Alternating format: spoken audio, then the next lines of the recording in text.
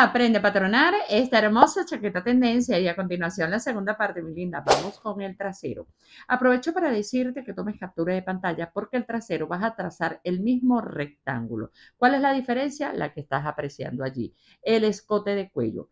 El cuello es 7.5 de ancho y vas a bajar 2.5. Y por supuesto que el lado trasero es al doble de la tela. ¿Cuáles son las telas que yo te sugiero utilizar para este hermoso proyecto? Mi linda, toda tela plana, rígida, jean, drill, eh, pana, pana acanalada. Y aprovecho para adelantarte, mi linda, que la confección de esta chaqueta se viene con sorpresa incluida, que tienes que estar pendiente de mis publicaciones para que las mires. Y recuerda seguirme, darle like, comentar, compartir, guardar el video compartirlo para llegar a más personas, mi linda, así me vas a apoyar.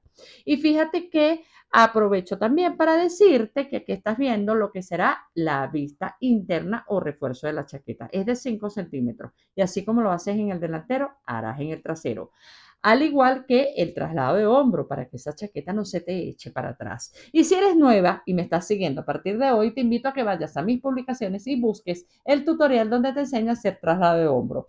Ya te dejo la imagen en pantalla para que veas cuál vas a buscar. Mi equipo de producción es una maravilla, mi linda. ¡Tarán! Esto es lo que tienes que buscar. Nos vemos en el patronaje de la manga. Sígueme.